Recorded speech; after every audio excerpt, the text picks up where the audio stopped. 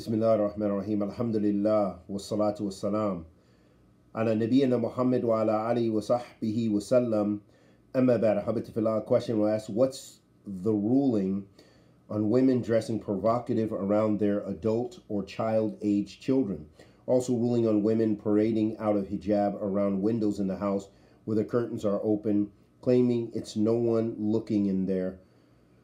Uh, please advise us, barakallah fikum uh, the scholars have mentioned about uh, some of these masail and have been asked about them. And from my knowledge and what I've read is, of course, that from haya, from shyness, is that a woman should not be provocative, obviously, around her adult children or anyone except for her husband. And if it is around the husband, it's actually something obviously marghub. It is something which is desired, something which is pleasing to Allah subhanahu wa ta'ala that she's trying to please her husband. And pleasing to the husbands, obviously, most of them. And with that being the case, as far as the adult children, it sets a bad precedence if you're if the the mother is you know it sets a bad example for girls for their tarbiyah. Uh, in them watching, they see their mother and they're going to imitate their mother if they see her, you know, dressing provocative. Now, that again is also a relative term. So we also got to look at that.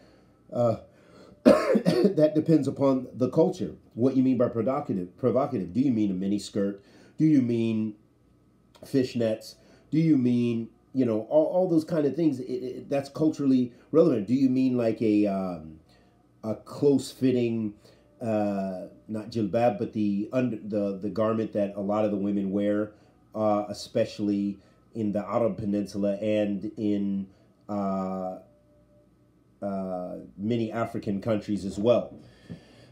The uh, I think the Somalis they say the Bati and and others wearing those kind of garments, and I've forgotten the names, but anyhow, uh, that the ulama, and we'll try to find some uh, exact uh, fatawa, which is easy to do because there's many fatawa out there, where the scholars mention this about what the women, uh, the uh, women's dress in Islam in general, and even with regards to these uh, issues.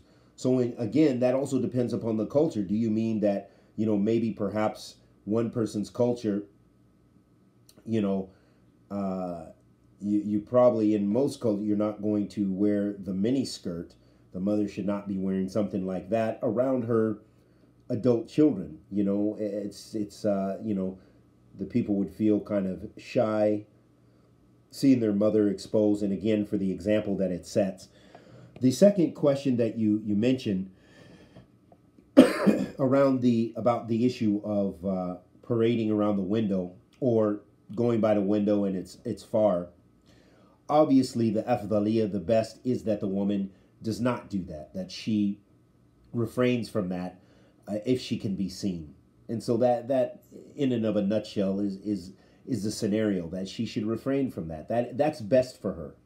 Now, if it's true that actually no one can see, for example, you live in the middle of nowhere and she goes, she closed the curtains and she doesn't, you know, uh, wear hijab and, and so on and so forth, that this is a, a different scenario. But just to be safer, it's best for modesty to safeguard yourself uh, in any kind of environment where you might be seen and especially if you're very relaxed in the home environment.